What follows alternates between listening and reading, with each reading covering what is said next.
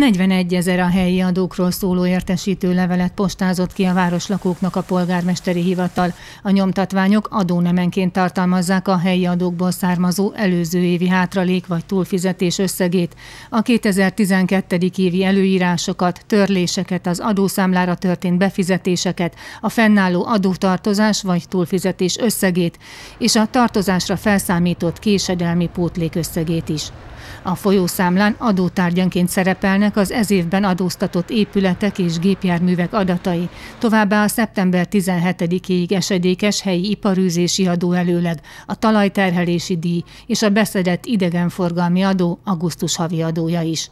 Az egyenlegközlő mellé az adózók csekket is kapnak, ezen szeptember 17-éig kell befizetniük az év második fél évére esedékes adót. Gépjárműadóból 400 millió forint bevételre számít a város, építményadóból 800 millió, iparűzési adóból pedig 2 milliárd forintra számítanak.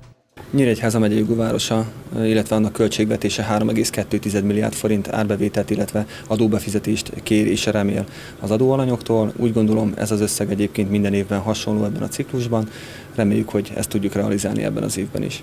A tapasztalatok szerint Nyíregyházán a helyi adó fizetésére kötelezettek 80%-a időben eleget tesz adózási kötelezettségének. Aki szeptember 17-ig nem fizeti be a pénzösszeget, attól azt késedelmi pótlékkal együtt adóként behajtják, és végrehajtási eljárás keretében realizálják a kintlévőségeit.